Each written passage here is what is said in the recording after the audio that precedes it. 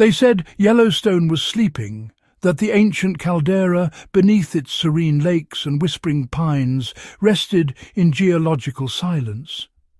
But what if the mountain that breathes fire was never truly asleep? What if something unseen, something we have no name for, has been stirring beneath our feet all along?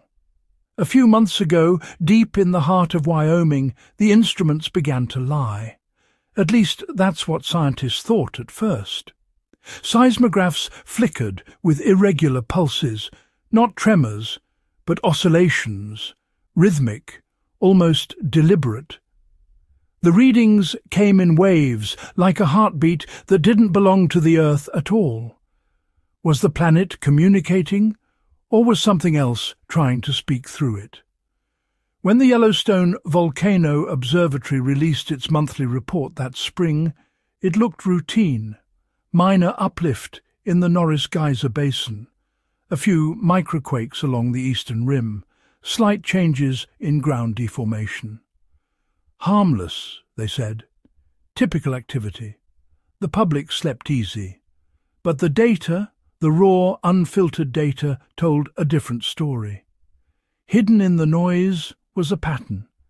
Every 49 hours and 13 minutes, a pulse of energy rippled upward from nearly 50 kilometres, 31 miles, beneath the crust. It wasn't seismic, magnetic, or geothermal. It didn't behave like anything the team had seen before. In the words of one geophysicist who later spoke under condition of anonymity, it was like the heartbeat of something waking up. By early May, that pulse had doubled in intensity. By June, it had tripled. The hotspot beneath Yellowstone, the very engine that fuels its geysers and boiling pools, was supercharging. But no known natural process could explain it. Some whispered it was solar activity, though solar flares cannot reach that deep into the mantle. Others suggested cosmic radiation, but the timing didn't match.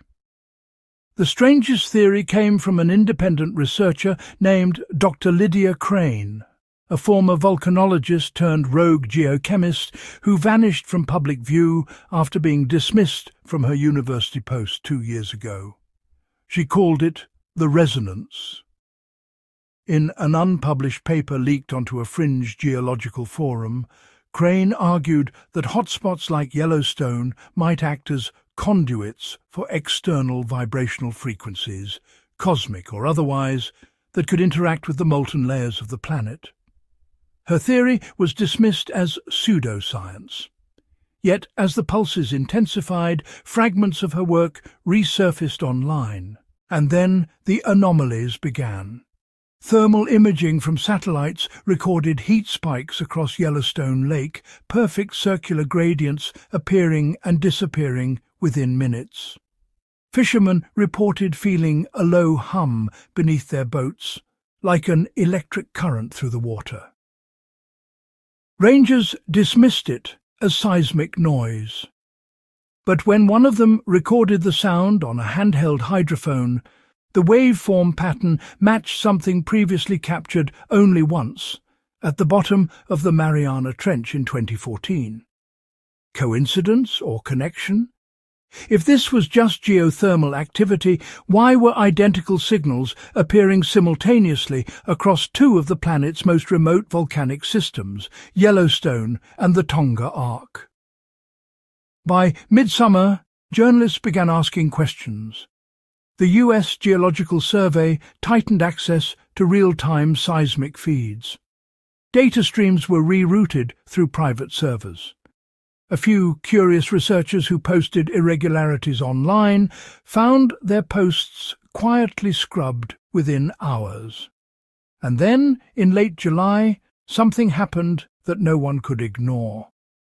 A series of microquakes rippled across the park, nothing larger than magnitude 2.1, yet visitors standing near the Old Faithful geyser reported seeing the plume erupt nearly twice its usual height. Others described flashes of bluish light beneath the steam, fleeting and silent, like underwater lightning. Videos flooded social media before disappearing mysteriously. Accounts were suspended, but some fragments survived. One clip, time-stamped July 23, 2025, shows the geyser's eruption framed against a twilight sky. For a fraction of a second, a faint ring of luminescence, perfectly circular, can be seen expanding outward across the basin. Experts called it lens flare. Photographers disagreed. So what was it? The pattern of light matched the waveform frequency from Crane's resonance model almost exactly. And then the temperature rose. Sensors across the caldera detected a uniform increase of 3 degrees Celsius, 5.5 degrees Fahrenheit, in less than 12 hours. Pressure readings in deep boreholes spiked. Gas ratios shifted. Carbon dioxide output doubled overnight. Seasonal variation. But there were no official explanations when bison herds began to migrate north weeks ahead of schedule, crossing roads and fields in chaotic herds. Locals who've lived near the park their whole lives swore they'd never seen anything like it. Animals sense things long before we do. That's when the whispers began, not from scientists, but from the workers inside the park. Maintenance staff reported power surges in the geothermal monitoring grid, as though something underground was feeding energy back into the system. A drone operator claimed his craft was pulled off course by an invisible force while flying over the mud volcano area, and several field cameras caught faint electromagnetic distortions in the air, shimmering waves, bending light in patterns that shouldn't exist outside of extreme heat. Only the air wasn't hot. It was humming. As weeks passed, more evidence emerged that the hotspot wasn't just heating up, it was evolving. New vents appeared where there had been none before. Streams, once lukewarm, now boiled furiously. Infrared surveys detected symmetrical temperature signatures aligned in hexagonal patterns across several kilometres. Nature doesn't make hexagons. Instrumental artifacts. If this was natural, it was the most precise accident in geological history. By September, the pulse returned, stronger than ever. Sensors in Idaho and Montana began registering sympathetic tremors, like echoes radiating from Yellowstone's heart. And yet there was no eruption, no explosion, only silence between beats. Then came the night of September 21st. At 2.34 in the morning, residents in Gardiner, Montana reported seeing an aurora-like glow hanging low over the northern horizon. Not green, but gold, and moving against the wind. Power flickered. Phones lost signal. A faint, low-frequency vibration shook through the ground, lasting nearly five minutes. The next morning, the pulse stopped. For the first time in months, Yellowstone went quiet. But the quiet was worse than the noise. Because when they checked the thermal data again, they found something that defied explanation. A void. A perfectly circular zone of cooled rock nearly ten kilometres, six miles across, deep beneath the central magma chamber, where heat had simply vanished. Vanished. As if something had absorbed it, and if Crane's theory was right, that could mean only one thing. The energy had gone somewhere, or to something. The calm didn't feel natural. It felt rehearsed. Instruments across the park had gone silent, but every so often they whispered tiny voltage spikes, a nervous pulse buried in the static. On October 2nd, an amateur radio operator near Cody picked up a tone on an unused band, looping every 59 seconds. Within hours, Identical signals were logged in Idaho, Montana, and northern Utah. The sound wasn't noise. When plotted, it formed a six-sided symmetry, the same geometry once seen beneath the caldera. No one wanted to say it, but the pulse was back, only now it wasn't coming from underground, it was in the air. Three nights later, power grids near West Yellowstone flickered at 2.30 at pre-dawn. A low vibration rolled through the valley, strong enough to rattle windows, but too soft to register as a quake. Drivers pulled to the roadside, staring at a golden haze gliding against the wind.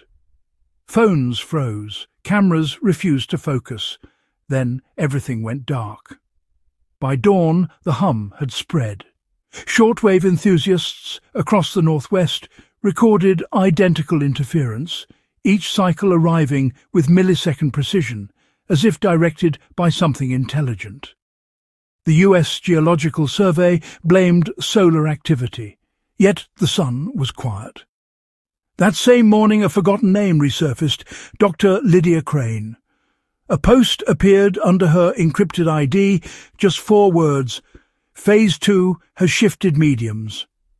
Attached was a blurred spectrogram. When inverted, the noise formed a map of the western United States, dotted with faint nodes from Yellowstone to the Cascades. In the corner, she'd scrawled a question. Still think it's geological? Then she vanished again. Sensors inside the park started misbehaving. Batteries drained. Readings oscillated as if drawing power from somewhere else. Atmospheric data showed invisible distortions, ripples in the air, bending light like heat mirage, except the temperature didn't change. European satellites caught the same anomaly. A faint golden halo pulsing once every 49 hours and 13 minutes. Officials called it reflection. Independent analysts called it impossible. On October 5th, a private satellite registered a burst of microwave energy over Yellowstone Lake, half a second long, sharp enough to blind detectors in orbit. It wasn't lightning, it was too structured. When overlaid on old data, the flash aligned perfectly with the hexagonal nodes that had appeared months before. Something had reactivated. Crane's earlier theory, once dismissed as pseudoscience, suddenly looked prophetic. The hotspot as an antenna, a planetary transceiver reaching beyond the crust. If she was right, the pulse wasn't a symptom of volcanic pressure. It was communication. And maybe it had just received a reply. Locals began reporting strange behaviour in wildlife. Elk herds clustered at night along the northern rim, facing one direction as if drawn by a sound no human could hear. Hikers described a metallic taste in the air, the same one felt before lightning strikes. Drones flown over restricted zones, lost GPS, spinning until batteries died mid-flight. A leaked Department of Energy brief mentioned localized magnetic dissociation events. Translation, the magnetic field was fracturing in small, moving pockets. Compasses twisted 15 degrees and snapped back. Instruments inside those pockets lost calibration entirely. Whatever was awakening didn't follow physics. It rewrote them. Satellite overlays showed the anomalies migrating northwest in a straight line toward the Pacific. Scientists called it coincidence until one analyst noticed the intervals matched seismic echoes under Mount Rainier. Yellowstone was talking to another volcano, but the conversation was one way. Late on October 6th, the same minute the original pulse vanished weeks ago, the hum stopped. Then a new sound emerged, seven seconds of patterned static captured on hundreds of receivers nationwide. When converted to binary, the signal translated to repeating coordinates centered directly over the caldera. It wasn't random. It was a message. No agency has confirmed it, yet power surges that night tripped sensors from Wyoming to Nevada. In archived telemetry, the waveform looks like a heartbeat that skipped once, then resumed slower, heavier, deliberate. The following morning, Yellowstone looked serene again. Steam drifted softly over the pools. Tourists snapped pictures, and the official report declared activity remains within normal limits. But satellites tell another story. In the infrared spectrum, faint symmetrical halos still orbit the park, six-sided, breathing once every two days. Each pulse is weaker, as if something beneath the earth is listening, not sending. If Crane's resonance theory holds, the hotspot isn't merely geothermal. It's a conduit, a bridge between frequencies we don't yet understand. The energy that vanished weeks ago didn't die. It transformed. Maybe it crossed the threshold between geology and thought. Maybe Yellowstone has become a receiver for signals older than the crust itself. Whatever it is, it's not finished. So if you ever visit the park and feel that pressure in your ears, that low hum at the edge of hearing, remember this moment. The world's largest volcano might not be preparing to erupt with magma, but with information.